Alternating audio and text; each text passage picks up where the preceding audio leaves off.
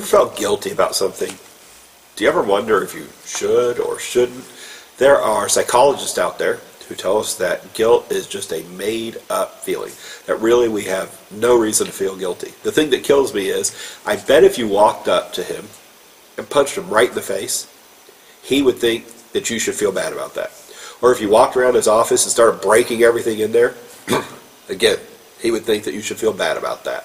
Or anything else. It's amazing. We can, in theory, say all these cute little things that are as stupid as can be. But in practice, we know that there are reasons to feel guilty. But we also know that times in our lives that there is a bit of a false guilt. And today we're going to talk a little bit about what is guilt, true guilt versus false guilt, and what do we do about each of them. So, what is false guilt? False guilt is being manipulated by the devil, others, or yourself. See, three things here. You can be manipulated by the devil to feel guilty about something you've not done, by others, by yourself even, to feel bad about not meeting everyone else's standards, feeling guilty about not always giving others their way. You know, people will do this to you. It's called manipulation. I guarantee you have people in your life who manipulate you. I can't believe you're not coming over to see your mother. You know it's Mother's Day. I just can't believe you're not coming. Is it working? I mean, I mean that kind of an idea of, you know, I'm just going to lay it on thick because I want to, and then you start feeling guilty. Are you doing anything wrong? No, you got work, you're busy, you've got a hundred thousand responsibilities, you were just down there, and you just can't do it. But when they sit there and they just lay that on, then you start feeling terrible. That's false guilt. This is false guilt. How can I manage false guilt? I think the biggest thing you can do to manage false guilt is recognize the freedom you have in Christ. When you start to recognize the freedom that you have in Christ, it, it starts opening up all kinds of things. Everything is permissible, but not everything's beneficial. I mean, I don't need to do this. It's going to hurt me, someone else. It's going to dishonor God. But it's amazing how much of life that opens up, how much freedom you're given. Another possible source, though, of our false guilt is our own conscience. The Bible talks about 1 Corinthians 8 believers that have a weak conscience. And it defines it as a mistaken belief that something that is innocent is actually sinful. For instance, I use personal one. I have a weak conscience when it comes to alcohol. I totally abstain from it. I don't like being around it. And what's amazing is my brothers who are stronger in that area will cater to me in that. They may have complete freedom in it, but while I'm around, knowing that I struggle with this, they will just make sure that they don't have any. So in their freedom, they show some kindness to me. The same as I do in other areas of things where I feel completely free about but really bothers other people. That weak conscience then can make us feel like we've done something wrong, which is really just a false guilt again. And we start getting so laid up by our own rules and regulations that instead of being concerned about where we have true guilt, we're always bending over backwards on this false guilt. The biggest thing, though, that I think leads to false guilt is being a people pleaser. If you want to always try to please everybody else and make them happy, I guarantee you will run into a lot of people that let you. They will let you give your whole life to just try to satisfy them. And what you'll see is sometimes they'll even let you see that you've done it. And they'll reward you for it.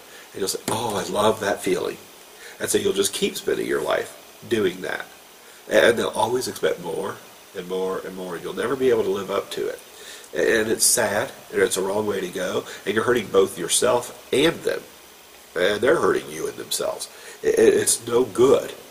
You have to start finding that there is a God you need to please. So what's true guilt? True guilt is the feeling a conviction of wicked thoughts, motives, or actions to which the Holy Spirit of God opens your eyes. The cure for true guilt is not just a commitment to try harder. Getting rid of true guilt requires godly sorrow leading to repentance.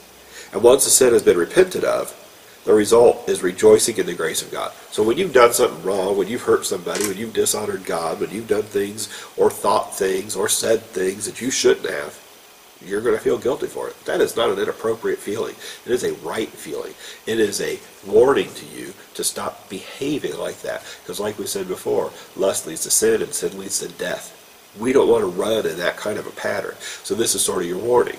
It's just like pain in the physical realm of knowing if I just didn't feel pain, I put my hand on the burner of a stove that was on and didn't feel pain, it would eat my hand away if I didn't know.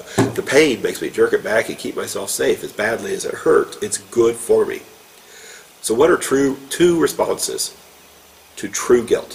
One of them is worldly sorrow, and the other one is godly sorrow.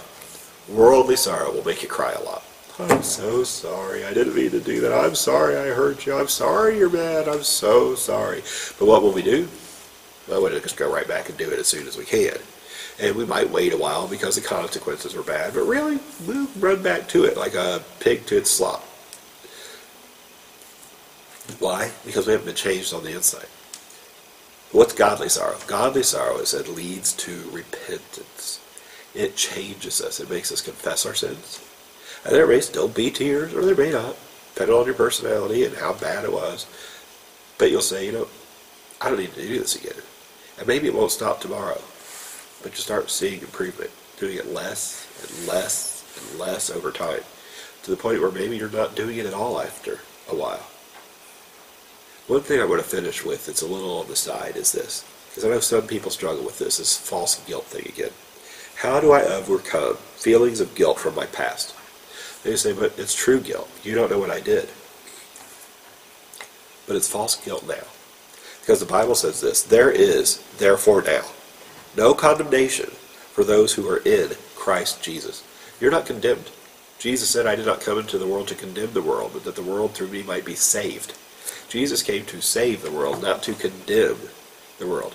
If you are in Christ, the things you did long ago, that you've already confessed and put under the blood, they're gone. God says, I put it as far as the east is from the west. Throw it into the sea of forgetfulness. I don't care. I'm not digging it up, and I don't want you to either. You say, so what do you do? Accept that. Stop digging up the problems from years ago. You say, well, I never confessed it. Well, then confess it and be done with it. Confess it and turn from it. Well, I still fall into it. Then just keep working on it. The trying harder, though, is not going to get you there. You're going to have to find what God wants you to do and start working toward that. If all I kept saying was, don't think of pink elephants. And I just kept saying that to you. What would you sooner or later just be thinking about all the time? Pink elephants. No matter how much I said, don't think of pink elephants. Oh, I'm not going to think of pink elephants. Every time you say that, what are you thinking of? Pink elephants. So what do you do? You find something better to think on. The Bible says, think on these things, things that are noble, things that are pure, things that are good, things that are of a good report, things that are lovely. Think on these things. What's amazing is as you think on those, it's going to clean you up from the inside out. And the ugly is going to be pushed out. If all you do is think about not thinking about the ugly, all you'll think about is the ugly.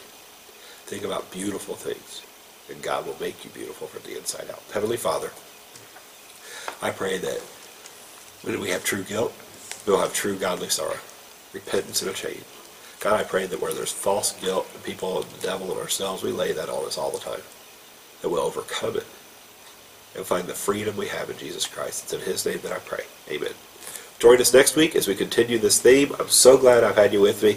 I hope it's been a big encouragement to you, and let me know if it has. See you later.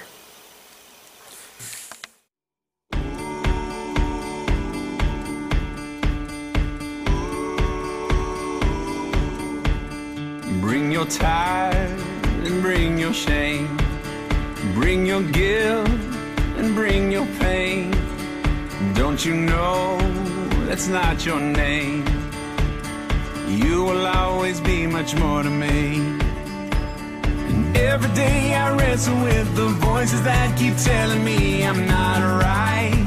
But that's alright, cause I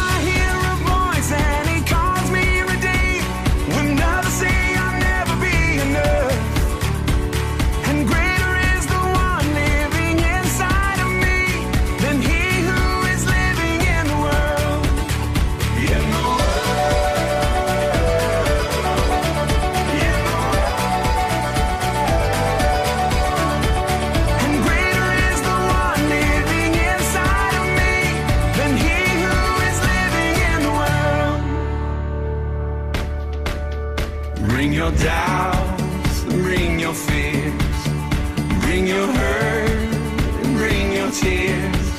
There'll be no condemnation here. Oh, you are holy, righteous, and redeemed. And every time I fall, there'll be those who will call me a mistake. Well, that's okay,